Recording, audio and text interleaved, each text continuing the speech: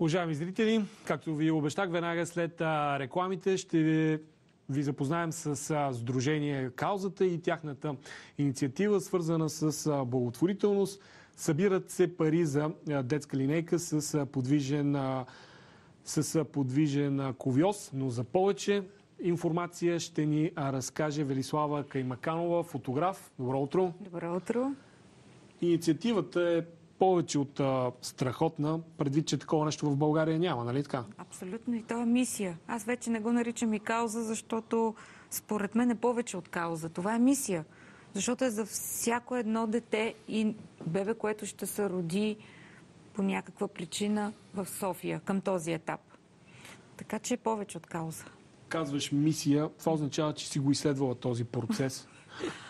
Казвам, че е мисия, защото така го приемам, защото няма да се откажа от него, независимо колко е трудно, защото ние сме една шепа хора, които, в смисъл, какво шепа хора? Няколко човека сме абсолютно ентусиасти, които сме се захванали с напълно благотворително всяко, всяка стъпка от тази мисия да се осъществи.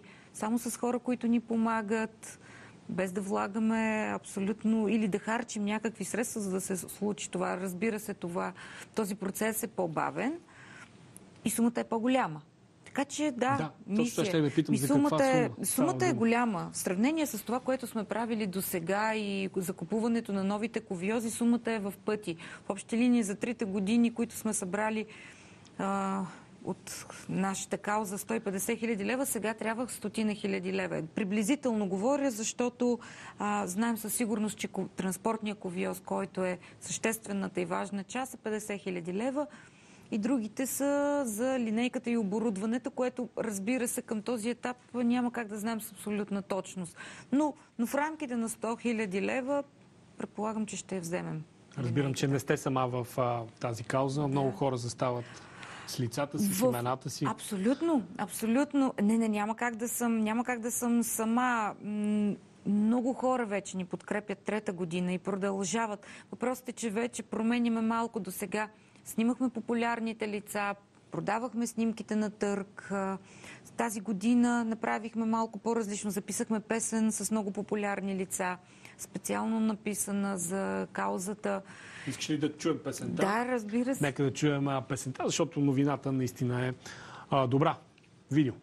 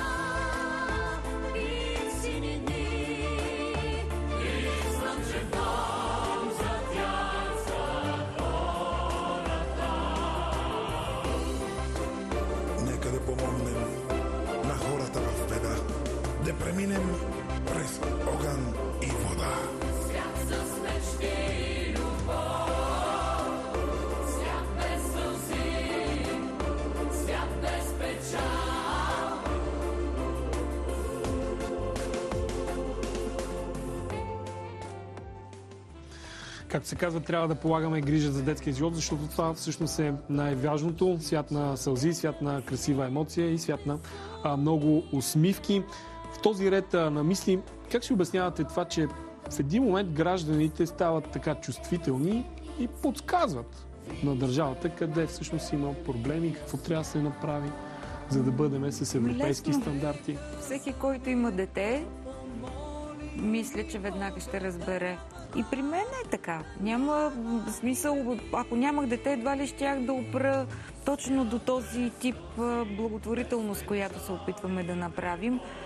И, и всъщност оттам чувствителността към всички деца, това, че тази линейка като визия дори е по-различна. И смятам, че Вътре, ще, вътре искам да, да я направим със светлинки, да е в детски клуб. Никой все едно влиза в детски клуб, а не в болнично. Да, нещо стресиращо за Ами, децата. знаете ли, аз вярвам, че повечето от болестите са болест на мозъка и всъщност, предоставяйки атмосфера, която не е болнична, може още там да оздравее детето. И силно вярвам в това, независимо как звучи.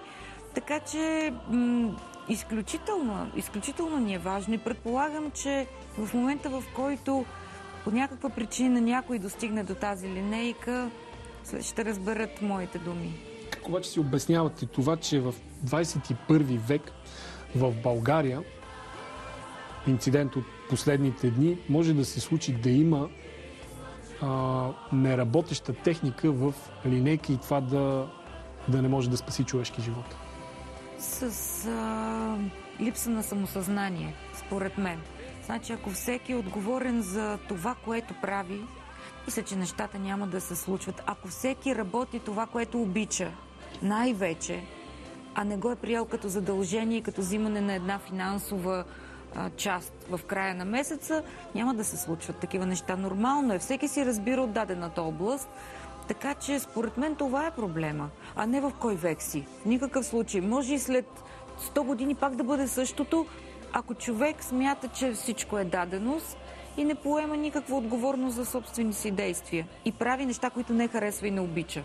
Става въпрос, че за всяка една а, проблемна тема в здравеопазването се търси и благотворителност и хората се питат къде всъщност е ролята на държавата, защо плащаме осигуровки, защо плащаме толкова много а, здравни осигуровки и клинични пътеки, като в крайна сметка се разчита на благотворителност, ако има тежък проблем, ако, ако пък а, имаш някаква сума, отиваш и си плащаш за здравеопазване и така И нататък. само питат. И какво от вас реших пък да не питам? Решихме, ако мога да помогна и да действам. С питане нищо не става. Според мен, защо само питаме? Няма да променим нищо, ако само питаме и, и нищо друго не правим. Така че аз приех другата страна на нещата. Нека ако мога с нещо да помогна, ако за мен е удоволствие, защото снимането през тези три години беше любов. То не беше работа, задължение или нещо друго. Аз го направих с най-голямата си любов и сърце. И за това и резултатите са ни такива. Убедена съм. На днешно време, когато всеки штрака с телефон, това да продадем снимка, като картина, разбира се, направена на канава с рамка и да сме взимали в рамките, да сме достигали 4500 лева за един, за един такъв продаден кадър е според мен изключително. И тук прозира наистина любовта на всички тези хора, които седат зад каузата и които са се включили. Така че да седна да питам и аз и да умувам в кой век съм и защо държавата нищо няма да помогна. Предпочитам да помогна. Ги снимате, благотворително ли ви се навиват? О, всичко в тази кауза хора е благотворително. Няма нещо и може да се случва. Ние сме доказателство, че с познати може или не правим, ако от някъде някой поиска някакви средства, защото реално така кампанията ние трудно събираме пари, камо ли да отделяме средства за нещо си, за каквото и да било. И може да се получи. Ние сме доказателство, че могат да се получат. Седем ковиози имаме миналата година закупени. Кои са хората, които така застават с имената си, които вие снимате? А, о, много са. Над, имаме над 100 сесии. Изключително много са. Някои от тях ни подкрепят вече трета, четвърта година. Кой на Русева, Теодора Духовникова. Това са хора. Игор Марковски, който от... А, той беше всъщност помагаше на каузата, като правеше търговете. Вече е част от тази кауза. Видяхме в а, клипа Орлин Горанов, Кристина Димитрова. Те са новите лица. Тях Да. не съм ги снимала все Васил още. Петров. Да, да, Георги Христов. Много са. Те са, те са всъщност новите лица, които чрез песен се включиха, защото пак казвам, все пак трябва да бъдем и адаптивни и не може непрекъснато да се придържаме към снимките и към продажбата. Искахме чрез тази песен да малко по-национално да се чуе, така да се каже. Да, да го чуят, да достигне до повече хора, защото на търга идват определен тип поканени хора. Видях, че има ДМС. Има ли хора? Откликват ли? Каква да, сума имаме, сте имаме събрали? 8000, преди малко погледнах. Имаме 8030 лева от СМС и събрани. Ми, доста разчитаме и на това. Защото със сигурност 100 000 майки в София има, които ако всяка една изпрати по един СМС в този един момент, тази линейка ще бъде закупена изключително скоро. А, исках да попитам и друго. Дали има някакъв друг вариант всеки да изрази своята благотворителност, не Да. само чрез ДМС? Имаме и банкова сметка, имаме Фейсбук, навсякъде могат да ни открият, където или да напишат да оставим следи, или моето име веднага ще излезне информация. Ми хората, нами... всеки пита как. В смисъл, и то няма какво да ме питат. Всеки... Ние сме отворени към всякакви идеи, защото така ни се получава и кампанията. Всеки, който е готов да помогне под някаква форма, знае как да ни намери и, и може да ни намери. С някой от държавата мислите ли да говорите ниво премиер, президент Към този етап или се дистанцирате от официалната власт? нищо не се дистанцираме, ако може да вземем линейката. Да. Категорична съм. Значи няма добри и лоши хора, ако някой може да помогне на, да, да вземем тази линейка, защото, пак казах, тук имаме мисия. Тук нямаме кой какъв е или каква партия. Към този етап не водим никакви преговори с никой. Ако някой може да помогне под някаква форма, няма как да, да кажем, о, вие сте от теди коя си партия не желаем. Няма, няма такова нещо. Така че имаме си цел, и тя трябва да бъде постигната. И ще бъде постигната, сигурна съм. Както се казваше в една мъдрост, който а, а, така поставя целта, той осигурява средствата. Еми, мъча се. В смисъл, опитваме всичко, всичко възможно и няма да се, няма да се откажем. И тази линейка ще я видите по улиците на София. Дано да бъде по-скоро, за да може по-бързо да помогнем, защото все пак специализираните уреди за деца са строго индивидуални. Те наистина са за деца. И, и по този начин можем да спасим и да помогнем на много-много детски животи. Ясно. Ще изпишем и ние нашата, вашата сметка на страницата ни в а, Фейсбук. Всяка сутрин откривате ни изписани на, на латиница. Добре, благодаря ви за това участие и успех в а, каузата, мисията. Аз ви благодаря. Мисията. И, да, дано да съберете парите и такава линейка наистина да видим по улиците на София. Пък, както се казва по-нататък и в другите градове. Благодаря на Велислава Камаканова за това участие и за благотворителната инициатива, на която тя е мотор. Става въпрос за линейка с подвижен ковиоз за деца. Сега обаче отиваме към новините с още подробности от деня. Представя ги Яна Мойсеева, а вие бъдете утре заедно с нас точно в 6 часа и 55 минути. Има какво да видите. Въпреки тежката обстановка на Идомени, много кюрди посрещнаха своята нова година Неврус. След малко подробности в новините.